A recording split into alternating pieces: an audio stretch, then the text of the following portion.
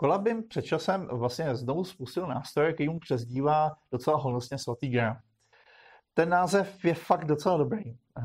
Dřív vlastně podobné věci, co dělá ten svatý grál, dělal nástroj Serpo. A on dělá jednu úžasnou věc. Představte si, že byste chtěli u vašich konkurentů nebo jakýkoliv jiného webu zjistit, na jaký fráze se umístuje, nebo na jaký inzeráty, eh, na jaký klíčové slova inzeráty v PPCčkách se spouštějí.